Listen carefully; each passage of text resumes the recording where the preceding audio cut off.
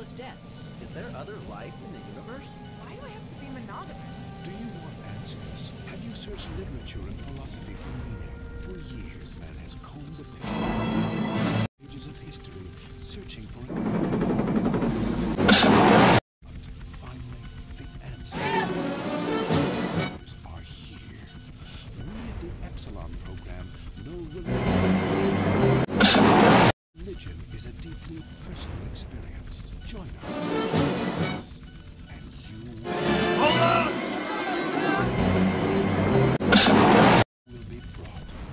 Hold on!